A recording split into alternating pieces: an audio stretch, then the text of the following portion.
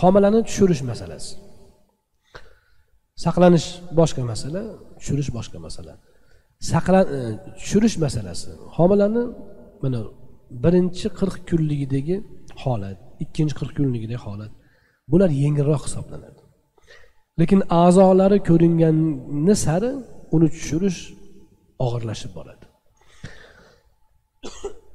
Ibn rajab aytadilarki ba'zilar masalan qirq kunni ichida farzandni birinchi qirq kunlikni ichida homilasini tushirib yuborish homilani tushirib yuborish xuddi saqlanish bilan barobar degan gapni aytadi. Bu zaif gap deydilar. Chunki ikkala holatda farq bor.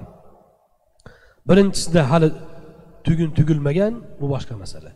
Lekin tugun tugilgandan keyin uni buzish bu gunoh bo'ladi. Illo shunga yarasha uzr bo'lsa joiz. Bu yakka bir har bitta oilaning holatidan kelib chiqib o'rganiladi. Masalan tabiblar aytishi mumkin hozir bunga farzand ko'rish mumkin emas deyishi mumkin. Masalan ba'zida aytib qolyapti e, kelib so'rashyapti farzand ko'radigan bo'lsa hozir hozirgi qonidagi o'zgarishlar farzandni nogiron qilib qo'yadi. Oldin davolanib keyin tug'sin. Agar mana shu bir yuz yigirma kungacha bo'lgan davrda bo'lsa mana shu gap mana shu nogironlik haqidagi gap. Ruh puflamay turib. Shuni qilsa bo'ladi. Ikkinchisi onaning sog'ligi ko'tarmaydi. Aytadiki aytish mumkinki doktor yo bu hozir bu farzand ko'rishga yaramaydi deydi. Bitta tabibni gapi bilan ketmaydi. Ikkita uchta mutaxassis bir xil gap aytadi.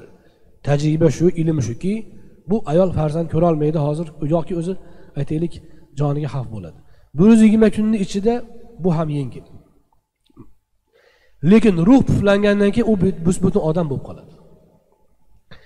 Endi ruh puflangandan keyin endi homilani tushirish masalasi jonga jon bo'lib qoladi. Illo jonga jon badal bo'lgandagina joiz bo'ladi. Endi nogiron bo'lib qoladi u o'ladi bu o'ladi degan gaplar o'tmaydi. Bir kishi keldi yig'laydi yig'laydi. Yoshi kattaroq erkak kishi. Ancha oldin farzand ko'rgan ekan navbatdagi farzandi. Soppa sog' katta bo'layotgandi deydi. Olti oymi yetti oy bo'lganda birdan boshi kattayib ketibdi bolani onani qornida. Katta bo'lib o'zidan katta bo'lib ketibdi. Xullas bola nogiron. Aniq nogiron tug'iladi. Hozir oldirib yuboringlar debdi. Men aytdimki ona agar sog'lom o'zi halok bo'lmasdan dunyoga keltira olsa bo'ldi tug'ish kerak endi.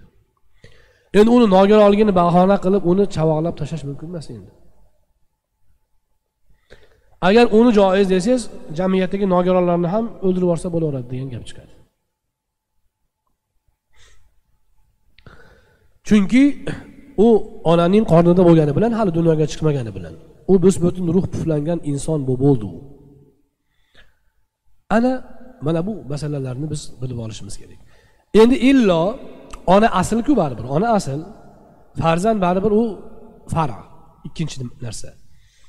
Illo ona halok bo'ladi agar hozir bolani halok qilmasak degan o'rindagina va shuni hamma mutaxassislar bir ovozdan ta'kidlasagina endi boladan kechiladi. Chunki bo'lmasam onadan voz kechishga to'g'ri keladi. Undan boshqa vaqtda ruh puflangan homilani tushirish mumkin emas. Garchi nogironligi tashxisi qo'yilsa ham